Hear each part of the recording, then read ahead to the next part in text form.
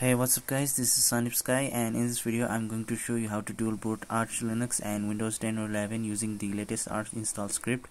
So I've already made a video on this but that method does not work anymore so I'm making a updated video. So without wasting any more time let's get started.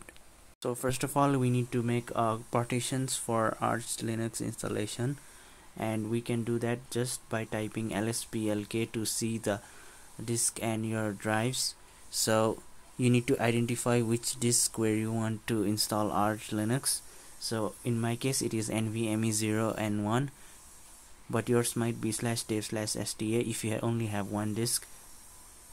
So once you have identified your drive you need to type cf disk slash dev slash and then your disk block number. Now it will open up a partitioning menu so you will see a free space if you have already made a free space using disk management in Windows.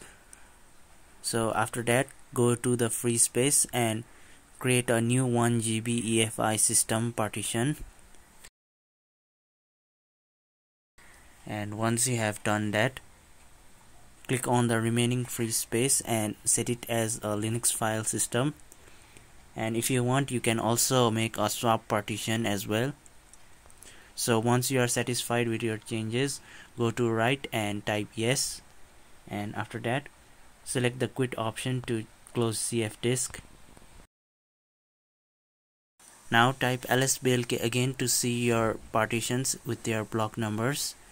Now we need to format the EFI partition as FAT32 and root partition as ext4 so type mkfs.fat-f32 slash dev slash then your EFI partition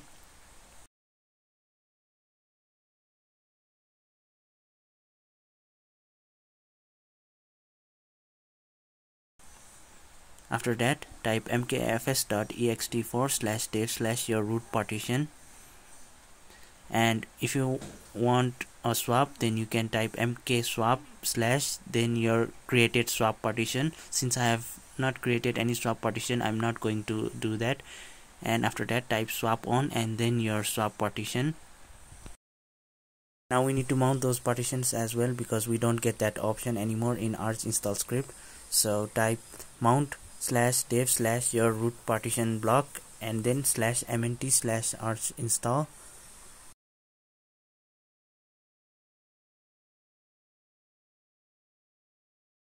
And if you get an error make sure to type dash dash mkdir after mount and after that we need to mount the EFI partition into slash mnt slash arch install slash boot.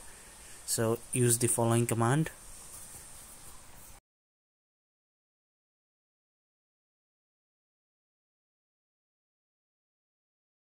Okay so we are finally done with the partitioning. Now we can use the arch install script to automate the process and install arch linux. So just type arch install and script will open. Now you have bunch of options. Now you can leave the first few option as it is and you can select this configuration. Now you have three options. First option will wipe everything. You need to choose the third option which says use pre-mounted configuration. Now you need to enter the root directory which is slash mnt slash arch install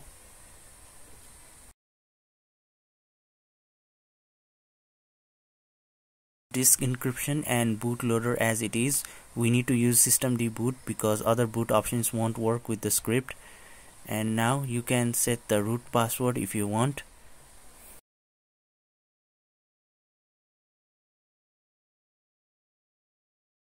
After setting root password make sure to create a user account.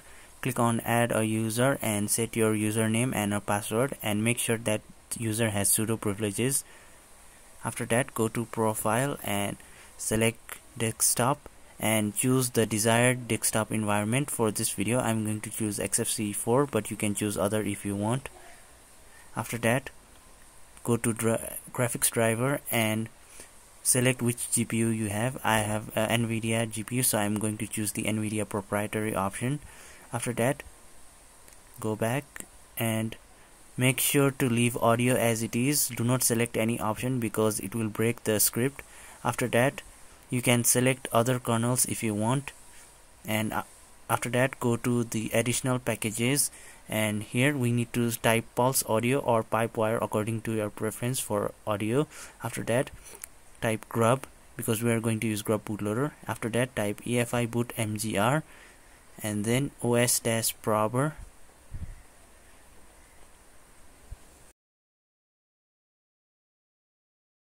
now for network configuration make sure that you choose the option which says use network manager and after that for time zone you can leave as it is and you can leave the rest of the options as it is and choose install. Now the installation script will begin and this may take a while according to your internet connection so I'm going to fast forward this part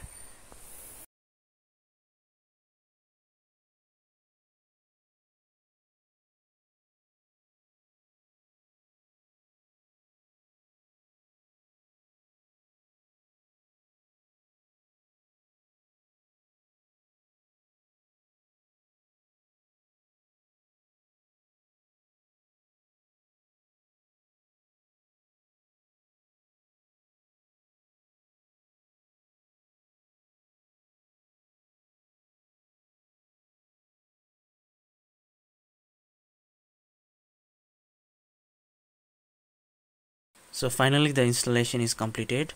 Now if you are prompted with this option make sure to choose yes because we are going to into the chroot mode. So after you are in the chroot mode just type bootctl space remove to remove the systemd bootloader. So now we are going to use the grub bootloader.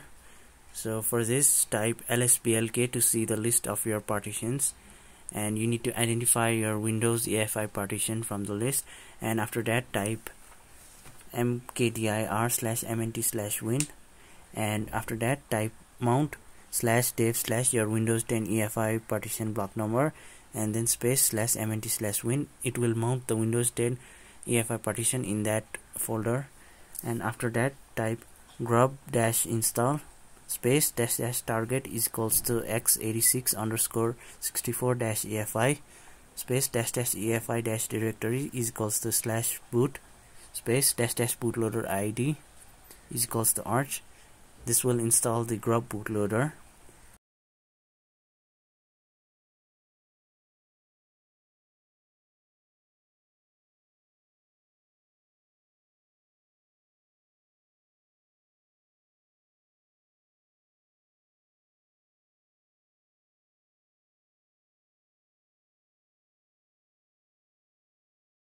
now we need to make the grub config file. So for this you need to type this command grub dash mkconfig dash o slash boot slash grub slash grub dot cfg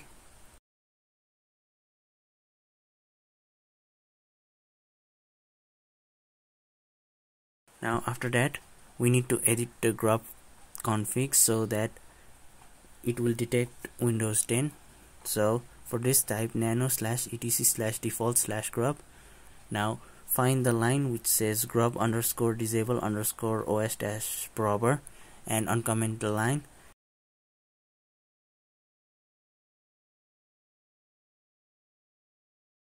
And after that find the line which says grub underscore gfx mode. Now edit its value to your screen resolution. For example mine is 1920 x 1080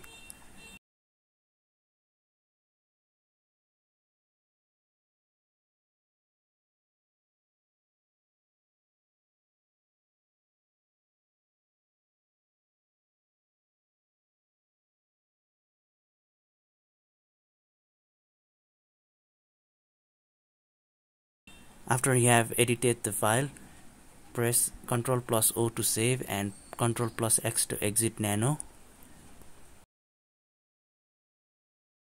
After that type exit to exit out of chroot mode and reboot to reboot into the system.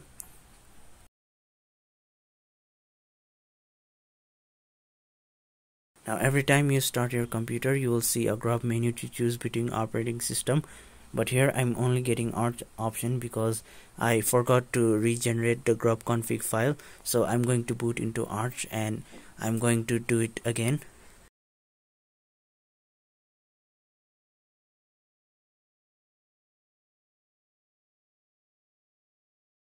So as you can see we have successfully installed arch linux. Now I'm going to open a terminal and type a command to regenerate the grub config file which is grub-mkconfig-o slash boot slash grub slash grub cfg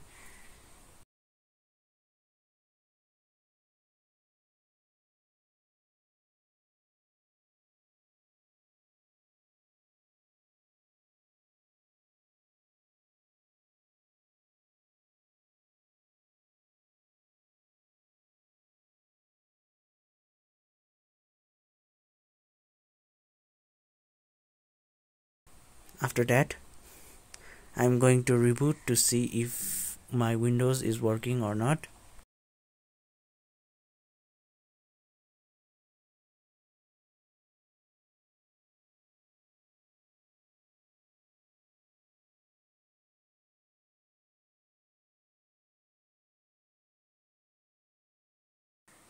so now in this grub menu we are getting option to boot into windows.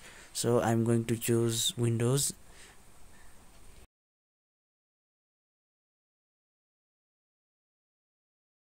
So as you can see we are also able to boot into windows just fine. So that's it for the video guys. Thank you for watching. I hope you found this video helpful. And if you did please leave a like and subscribe to my channel. Thank you